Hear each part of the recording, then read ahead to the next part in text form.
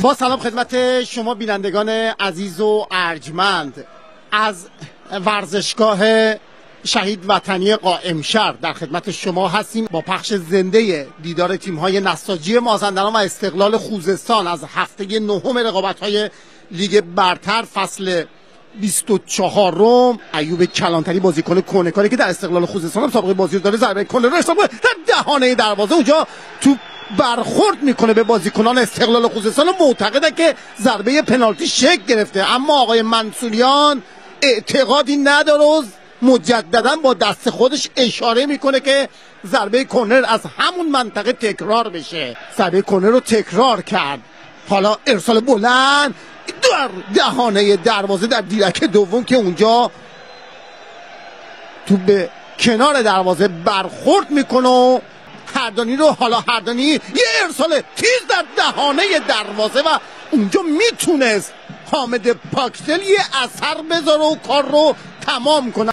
حالا ببینیم چگونه ضربه زده. که یه ضربه زمینی و توپی که در اختیار پولی قرار می‌گیره. بازی تیم‌های تراکتور با آلومینیوم و فولاد خوزستان و سپاهان هم در روز یک شنبه برگزار خواهد شد. یه فرصت از محوطه فرصت برای حامد پاکدل دروازه باز شد اما پرچم کمک دوم در دقیقه پانزدهم بالا رفته. رضا حیدری این لحظه ای است که حامد پاکدل سعی از کمند خط دفاعی استقلال خوزستان جدا بشه و آفساید اعلام شد. در بین مدافعین ثابت توپ است در اون محوطه. یه پا عوض کرد و اونجا به خوبی عکس العمل نشون داد سعید آقایی اجازه نداد. حالا یه پاس. نونز!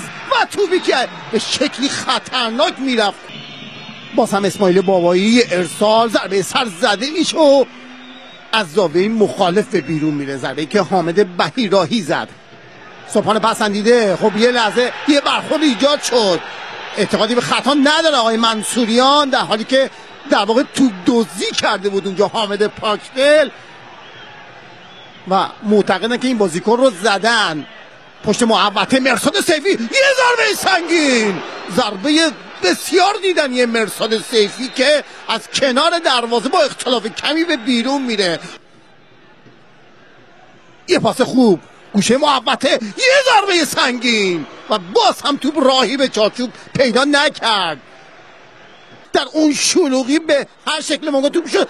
ایوب کلانتری و گوهری است که توپ رو دفع می‌کنه و اجازه نمیده در سیومین دقیقه بازی دروازه استقلال خوزستان روی پاشنه بچرخه. یه ارسال برای نونز یه کنترل. اجازه چرخش رو بهش نمیدن. یه ارسال هم شکل می‌گیره از کوهی اما لامپولی توپ رو در اختیار گرفت. یه توپگیری از بهیرایی. می‌بره تو عرض. فرصت برای بازیکنان استقلال خوزستان یک ضربه که اونجا وحید محمدزاده اسماعیل بابایی توپ رو میرسونه به محکم کار. یه پاس خوب برای نونز. حرکت سریع در اون محبته جریمه. یه فرصت و توپ تو عرضی که ارسال شد و کانیان نونز به توپ نرسید.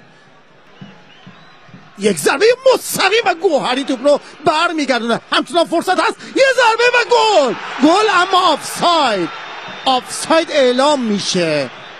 راست پرتاب رو انجام بدن. این لحظه است که ایوب کمتی ضربهش مستقیم هم قصد چارچوب زد. گوهری برگشت داد. در ادامه به این شکل اثر گذاشتن و یه ضربه است ایوب کلانتری و باز هم عکس العمل احمد گوهری. میکاره برای بازیکن خودی و توپی که پاکدل یه فرصت گوشه محبت جریمه یه ارسال یه ضربه سر از حامد پاکدل در یک فرصت مناسب برای استقلال خوزستان و پشت محبت جریمه یه خطا رو انجام میده. و کارت قرمز. به این شکل نگاه کنید. خود بیفوما یه ضربه و توپی که از روی دروازه به بیرون میره و یه نفس راحت هم می‌کشن. هم تماشاگران هم بازیکنان نساجی. اونجا ارتباط قد میشه.